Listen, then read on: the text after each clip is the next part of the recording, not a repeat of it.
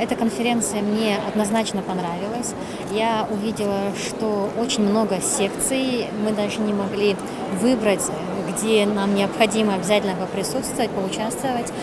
А, в то же время на своей секции, на которой мы, мы выступали, я увидела большую заинтересованность, вовлеченность слушателей.